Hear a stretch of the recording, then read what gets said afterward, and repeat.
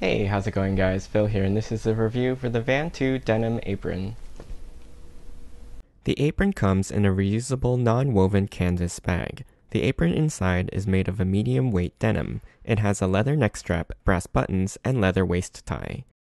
The brass button on the front chest pocket is purely decorative, but evokes the look of a pair of jeans. There is a row of short pockets along the midriff, which include three wide pockets and two narrow pockets for tools with handles like a wooden spoon or rubber spatula. At the top, you have a similar stitching pattern on the pocket. The neck strap adjusts with simple belt buttonholes. The leather strap at the waist tightens using a brass cinch on the left hand side. The back of the garment is smooth and finished with no flaws or rough seams. The stitching is very clean, neat, and straight. The apron uses standard gold jeans thread along the hems.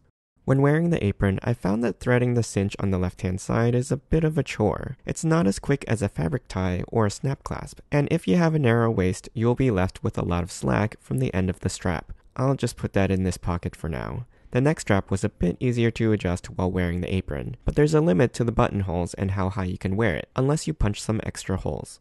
I think overall I would have liked it to be a bit higher on my chest. I'm still not sure what to do about this tail in the back, so maybe you can just hide it underneath the front. In the summertime, the leather neck strap does get a bit sweaty, and the leather is not removable when you need to wash the garment, so you'll have to either hand wash or at least hang dry the apron.